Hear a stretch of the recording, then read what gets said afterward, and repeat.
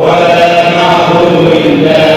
إياه مخلصين له الدين ولو كره الكافرون اللهم صل على سيدنا محمد وعلى آل سيدنا محمد وعلى أصحاب سيدنا